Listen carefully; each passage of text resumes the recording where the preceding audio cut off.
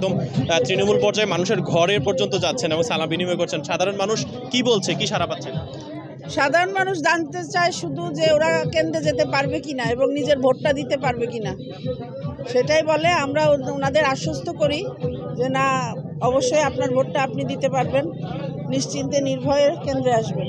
আপা আজকে আপনার প্রতিদ্বন্দ্বী প্রার্থীকে ইলেকশন কমিশন এক লাখ টাকা জরিমানা করেছে। এই বিষয়ে কোনো প্রতিক্রিয়া আছে কিনা আপনার? প্রতিক্রিয়া বললে তো কিছু হবে না কারণ এটা একটা হাস্যকর হয়ে গেছে। এখন উনি আরও হিংস্রতা দেখাবে শহরে এসে। এটার দায় দায়িত্ব কে নিবে সেটাই আমার প্রশ্ন। এখন পর্যন্ত কোনো আশঙ্কা দেখছেন কিনা সামনের দিনগুলোতে? অবশ্যই এর আগে ওনা উনি যেসব কর্মকাণ্ড করেছেন উনি তো বাংলাদেশের ডন হিসেবে পরিচিত হয়ে গেছেন। এখন আজকে এক এক লাখ টাকা ওনার কাছে তো এক টাকার মতো।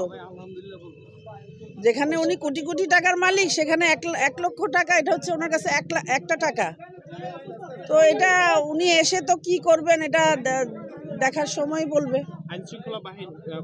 আমার ওনাদের প্রতি আস্থা আছে। আমি বিশ্বাস করি যে ওনারা সেটা অবশ্যই প্রতিরোধ করবেন। আচ্ছা এটা তো ওনার পুরানো ইয়ে। আমার প্রতিদ্বন্দ্বী যে এটা ওনার পুরানো মানে কি বলে এটা, কৌশল যে, নির্বাচনের আগের দিন রাতে উনি নিজেই গাড়িতে করে ওনার মেয়েকে নিয়ে টাকা বিলি করতে বের হন। এটা আমরা, আমার সতেরো নির্বাচনে আমরা দেখেছি সচক্ষে দেখেছি, কুমিল্লার মানুষ দেখেছে।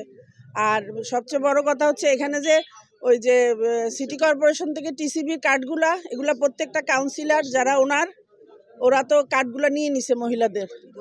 ওই মহিলাগুলা ইয়েতে আছে, ভয়ে আছে যে ওরা যদি নৌকায় ভোট না দেয়, ওদের ওই কার্ড দিবে না। এখন এটার প্রশাসন এটার কি ব্যবস্থা নিবে? নির্বাচন কমিশন এটার কি ব্যবস্থা নিবে? এটা আমরা অপেক্ষায় আছি।